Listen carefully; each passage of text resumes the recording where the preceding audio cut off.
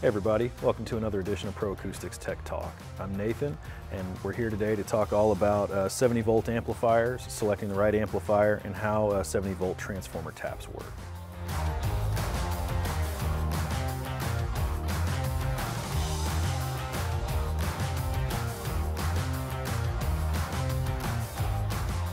Uh, so when selecting the right 70 volt amplifier for your application, uh, first we need to talk about what is an amplifier.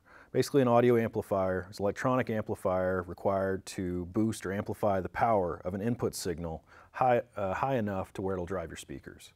Uh, basically an amplifier will take audio signal and turn it into uh, wattage, like electrical signal, which then will allow your speakers to, to move, to drive your speakers. Um, it's all about electricity and electrical signals. Um, so when choosing a 70 volt amplifier to power your speakers, um, you'll need to know how do you match the amplifier to the right speaker power. Um, basically, 70 volt technology allows us to take lots of speakers and run um, on one individual wattage line or one speaker line and have a fixed wattage and a constant voltage. Um, basically, all 70 volt speakers have a transformer built in, uh, attached to them, uh, mounted on the back, uh, inside of the speaker like we do with these surface mounts, uh, to where there's always a 70 volt setting assigned to that speaker. Um, basically, that's referred to what's known as a tap. Uh, like you'll see on the back of the Yamaha speaker here, this is a VS6, you have a dial um, that has a series of numbers on it.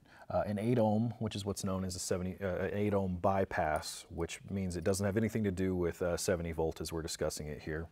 Uh, but then you also have these numbers uh, on a side that says 70V.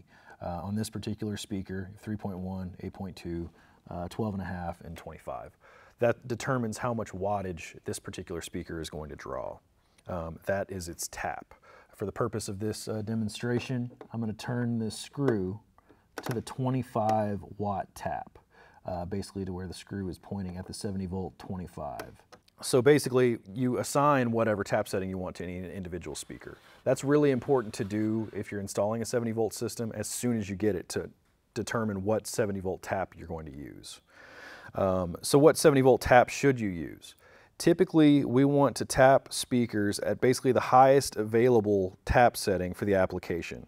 So what that means is in cases like um, restaurants and things like that, we normally don't need 200 watt speakers. Uh, so if you've got a speaker that has a 200 watt tap, you probably don't need it quite to that level. That's not the desired tap setting. Uh, but if you're doing a sports bar or restaurant that might get a little bit rowdy, um, on a, a, speaker like this that has a 25 watt tap, we probably don't want to start at the 2 watt setting because it's not going to be very loud. Uh, the wattage tap on a speaker also determines how loud that speaker will get. So um, it's normally a good idea to at least shoot for the middle tap setting, if not one of the higher tap settings when determining um, how much wattage you're going to need for your application. Um, because like I said, that wattage determines how loud that speaker will get. A speaker that only is getting two watts is not going to be as loud as a speaker that's getting 25 watts because you know that's over 12 times as much power. So uh, we definitely want to keep that in mind when determining what amplifier we want and what speaker taps we want to use. We also want to take into consideration headroom. Normally we want to leave um, at least 20% headroom on the amplifier that's not being used. The purpose of that headroom uh, basically allows uh, the amplifier to create the uh, wattage without any distortion. Uh, when you're listening to your favorite song, sometimes you'll hear loud parts, sometimes you'll hear really quiet parts. Uh, an amplifier being allowed, you know, that additional headroom means that it can take into consideration those peaks and valleys, those jumps and drops in that music. Uh, if we're using all of the amplifier and there's no headroom, we're all the way up at the top, uh, there's not a lot of room for taking into consideration that range, and also that can lead to the amplifier trying to drive too much wattage, which can push it into clipping. Clipping is basically a distortion of the waveform. Uh, so what does that mean to you? Basically the distortion of that waveform or that clipping, normally indicated um, on a clip light on an amplifier, uh, flashing red light, um, that can lead to choppy or distorted audio. Um, basically, it sounds a little distorted when you hear, you know, the cymbal crash on a loud rock song or uh, the person talking suddenly sounds a little distorted or overdriven. And over time, that distortion can damage your speakers and cause pretty serious issues. So we want to avoid clipping as much as possible. So when designing a 70 volt system, we need to figure out how much wattage do we need overall. that's a pretty simple math question, basically. Uh, what we're going to do is basically take our number of speakers um, and at their desired tap setting and add all that up. Uh, for this application here in front of me, I'm simulating basically a small, uh, small diner or small restaurant with two Yamaha VS6s and an amplifier. I'm going to go ahead and tap this speaker at the 25 watt setting. I might want it a little bit loud in there, um, but I can always turn it down at the amplifier if I'm worried about having too much wattage. So I tap this speaker at the 25 watt setting. I'm going to go ahead and tap this speaker at the 25 watt setting. And basically, adding together the wattage taps of these two speakers, I'm at 50 watts. Like we mentioned earlier, we want to try and add that 20% headroom. 20% uh, of 50, I happen to know off the top of my head, is 10. Uh, so that means we need at least a 60 watt amplifier. If we have more speakers, we'll obviously need a larger amplifier. So using these 25 watt taps, I can actually um, do up to eight speakers off of this 240 watt mixer amplifier that's in front of me. Uh, 8 times 25 is 200. That gives me some, some uh, headroom to play with underneath the uh, 240 watt uh, max output.